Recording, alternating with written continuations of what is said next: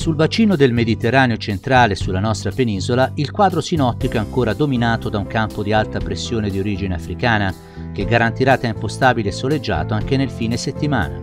In Toscana venerdì 30 agosto cielo sereno poco nuvoloso, venti deboli di brezza fino a moderati di maestrale sul litorale meridionale dal pomeriggio, mari poco mossi, temporaneamente mossi a sud di Piombino dal pomeriggio, temperature stazionarie in lieve aumento, con punte di 37-38 gradi sulle zone interne.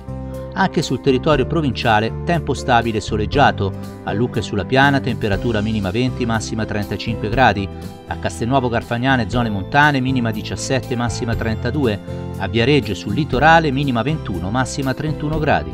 Sabato 31 agosto velato e temperature stazionarie.